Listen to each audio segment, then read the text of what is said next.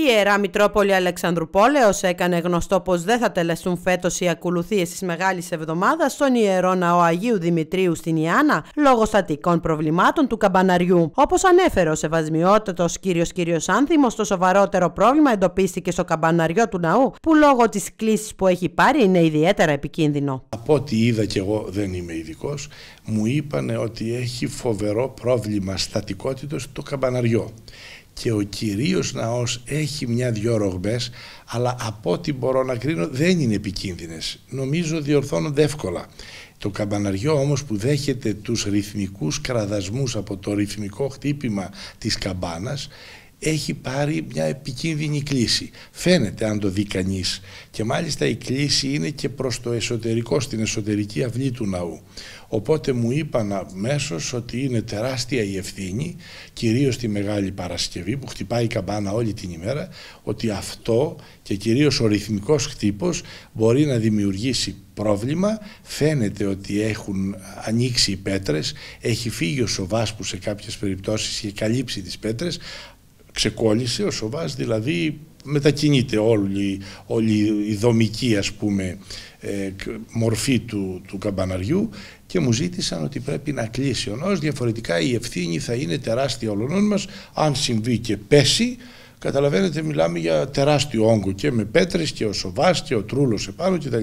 Μάλιστα, από την τεχνική υπηρεσία που βρέθηκε στο μέρος, έγινε γνωστό πως για το επόμενο χρονικό διάστημα καλό είναι να μην βρεθούν πολίτες ούτε στον άβλιο χώρο του ναού. Ακόμα μου είπανε και να μην μπει κανείς μέσα στην εσωτερική αυλή, διότι με έναν οποιοδήποτε κλονισμό, ένα σεισμό μικρό εκείνη τη στιγμή μπορεί να δημιουργήσει πρόβλημα. Και αμέσως δεν μπορούσαμε, αν το ξέραμε νωρίτερα, θα κάναμε κάποια παρέμβαση, θα ζητούσα να κάποιοι ειδικοί να μας πούν κτλ. Τώρα δεν προλαβαίνουμε λόγω των ημερών, μεγάλη εβδομάδα, να περάσουν και η διακαινήσιμος και η γιορτή των ελευθερίων και αμέσως μετά θα καλέσω και ομάδα άλλων ειδικών να πάμε να μας πούν πώς πρέπει να το στηρίξουμε προκειμένου να μας εγγυηθούν γραπτός, στατικοί, ειδικοί επιστήμονες ότι πλέον με αυτές τις παρεμβάσεις δεν θα έχει πρόβλημα το, το, το κατασκεύασμα όλου του καμπαναριού κυρίως. Για τον ναό δεν υπάρχει πρόβλημα. Ο Μητροπολίτης Αλεξάνδρου Πόλεος ελπίζει πως οι εργασίες θα δρομολογηθούν άμεσα έτσι ώστε να είναι έτοιμος ο ναός για την εορτή του Αγίου Δημητρίου, καθώς είναι μια σημαντική σελίδα στην ιστορία του τόπου μας. Θέλω να αξιοποιήσουμε το καλοκαίρι που έρχεται, να δουλέψουν εκεί οι ειδικοί άνθρωποι, αλλά να, να μας κατευθύνει κάποιος ειδικός τι πρέπει να κάνουμε.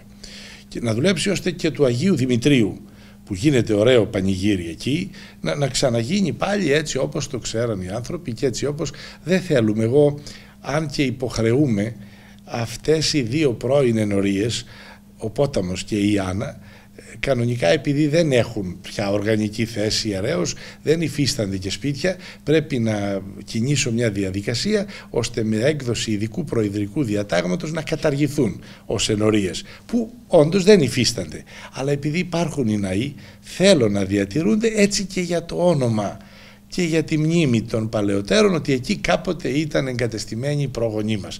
Έχουμε άλλες ενορίες παλαιότερες που δεν υπάρχουν πια.